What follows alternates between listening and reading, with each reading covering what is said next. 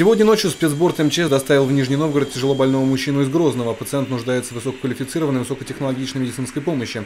Ее окажет при Волжском федеральном медицинском центре. На протяжении всего полета больного сопровождали медицинские специалисты Государственного центра аэромобильного спасательного отряда «Центра СПАС». Самолет МЧС России оборудован специальными медицинскими модулями э, и комплектом необходимой медицинской аппаратуры для поддержания жизненно важных функций.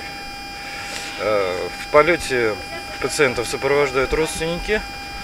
Э, бригада э, ВЦМК «Защита медицины катастроф» и бригада специалистов отряд Центроспаса МЧС России. Также на борту работает психолог. За время полета состояние пациентов наших не ухудшилось.